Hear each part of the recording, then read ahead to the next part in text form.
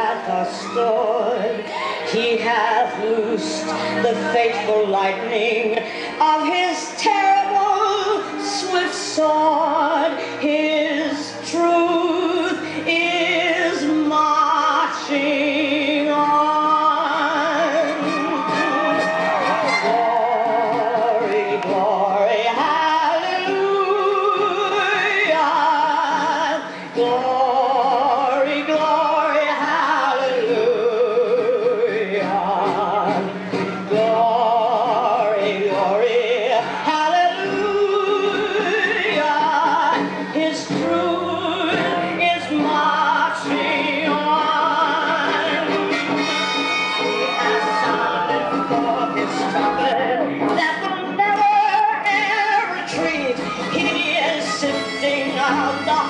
of men before his judgment seat. Oh, be swift, my soul, be answering.